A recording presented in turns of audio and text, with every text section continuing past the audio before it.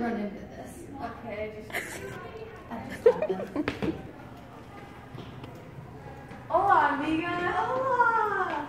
Padres, es mi amiga Audrey. Hola. Crap. Okay, I missed the three. Hola. Hola. Go. ¿Van a la escuela juntos? Sí. De niña, ¿qué era su comida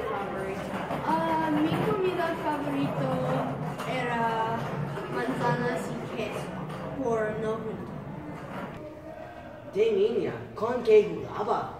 Yo jugaba con animales de peluche y muñecas. De niña, ¿qué jugaba?